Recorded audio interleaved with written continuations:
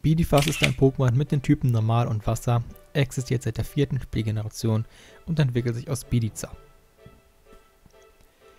Bidifast ist ein metergroßes, biberartiges Pokémon mit braunem Fell.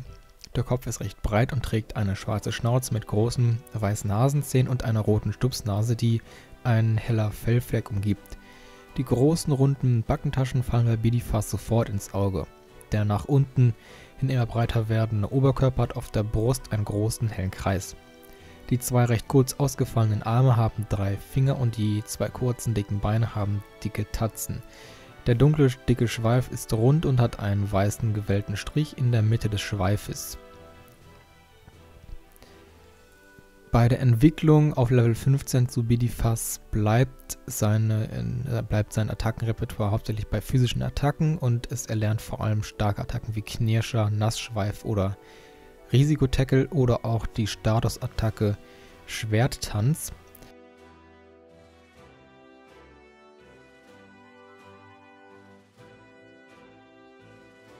Seine Fähigkeiten bleiben bei entweder Wankelmut, wodurch das Pokémon anfälliger für Statusveränderungen ist und der Effekt der eigenen Statusveränderungen verdoppelt wird.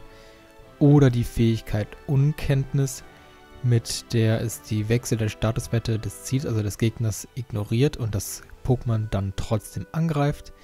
Oder die versteckte Fähigkeit Gefühlswippe, was einen Statuswert erhöht und einen anderen senkt. Bidifas gilt als fleißiger Arbeiter. Das Pokémon durchbeißt mit seinen sehr scharfen Zähnen Wurzeln und Äste und baut sich daraus in Flüssen einen kleinen Damm aus Stöcken und Ästen, dies mit Schlamm verklebt. Die von ihrem eingedämmten Flüsse treten niemals über ihre Ufer, was Bidifas zu einem beliebten Nachbarn macht. An Land wirkt Bidifas träge und langsam, doch im Wasser bewegt es sich mit Hilfe seines breiten Schweifs agil wie ein Fisch-Pokémon fort. Dabei ist Bidifast der letzte Teil der zweistufigen Entwicklung und entwickelt sich auf Level 15 aus Bidiza, wird aber deutlich schwerer und größer, der Schweif vergrößert sich und die zwei Vorderbeine werden zu Armen. Die Schnauze bleibt ebenso wie der Gesichtsausdruck gleich.